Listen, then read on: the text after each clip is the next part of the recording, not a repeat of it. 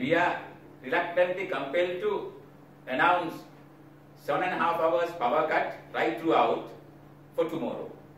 Now this situation has uh, happened because the uh, CEB do not have enough resources to run their generators. Resources means the, enough uh, the fuel.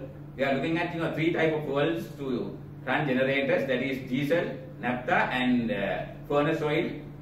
The CEB is unable to secure enough supplies to uh, run their generators, and therefore we are minus of almost 700 uh, megawatts of generators today and tomorrow, and therefore we need to impose seven and a half hours power cuts for tomorrow and five hours from uh, 8.30 to 6 p.m.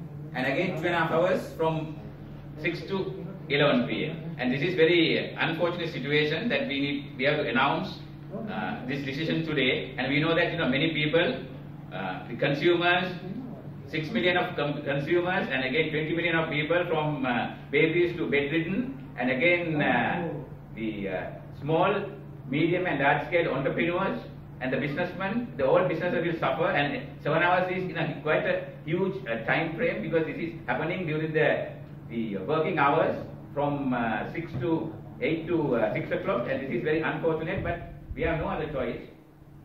Unless we secure enough supplies to generate our power, this will continue. And we urge all the, the uh, authorities and the political hierarchy to look into this matter immediately and make sure that enough supplies of this fuel to be supplied to uh, CEB in order for them to run their generators.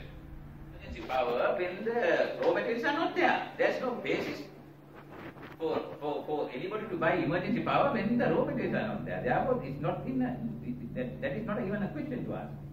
Don't get me wrong, but I feel emergency power nobody can secure now because we don't have uh, diesel and other oils to uh, run this.